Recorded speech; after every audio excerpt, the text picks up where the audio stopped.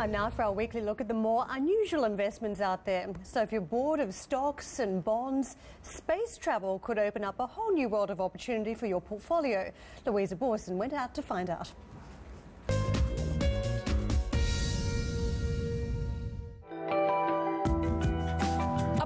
Now, the closest you and I have come to going to outer space is by visiting a museum.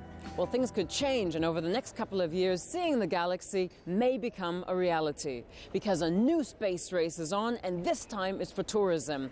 From entrepreneurs to big business, this is a market that's about to take off, and I'm about to meet one of its contenders.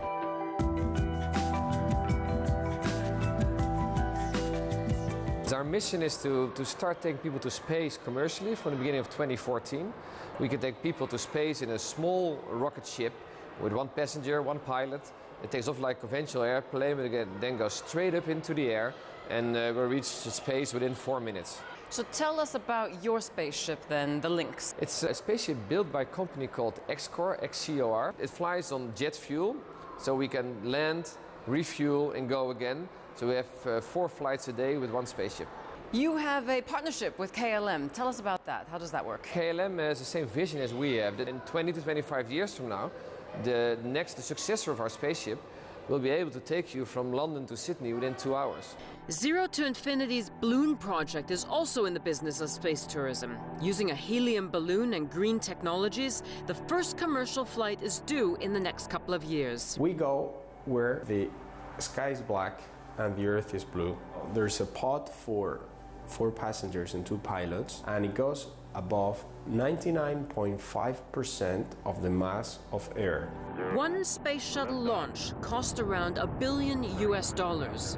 For Bloon, the overall investment is a fraction of that. A ballpark number for the, for the required investment uh, getting past break even is 20 million euro. There was an, a Series A round uh, with three business angels and one VC.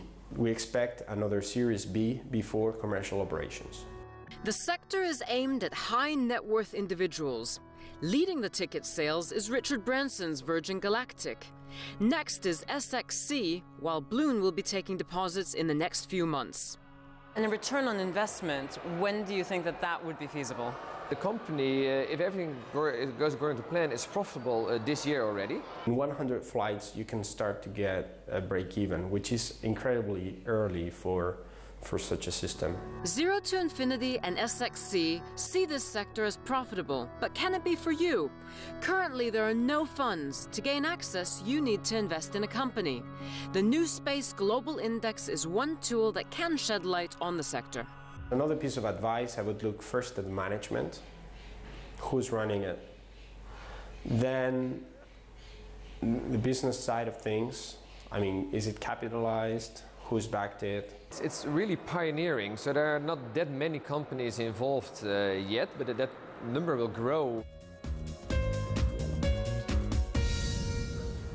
Joining us now in the studio is Julian Ranger. He's the CEO of iBundle and DadApp.com. He's also involved in the Google Lunar X Prize Moon Race team. Nice to have you on the set this morning. Thanks for joining us. When it comes to investing, a lot of investors, fund managers, people tell us to look at fundamentals. Excuse the pun, but is this all pie in the sky kind of stuff? No, not at all. There's actually quite a move to space, as you've just seen. We're talking there mainly about low Earth orbit, but the moon is the next place we're going to go, basically for resources and experiments, low gravity experiments. Therefore, you need to actually understand the conditions on the moon, what's there. So we're looking at resources, utilization, and experiments. And there's a little bit of entertainment uh, money that we can get as well. Your project, your first mission that you're embarking on, you expect to uh, raise $70 million after after an initial $20 million investment. This seems like huge upside. How do you achieve that and where does it come from? Right, what it does is uh, it costs us about just under 100 million, between 70 and 80 million to get to the moon to do the task that we're doing. We have various contracts. So our first contract that we're working on right now is a small one to prove we can take a NASA perspective uh, for water to the moon. They give us a lot of money. We take along extra experiments on our um, launch vehicle and uh, descender.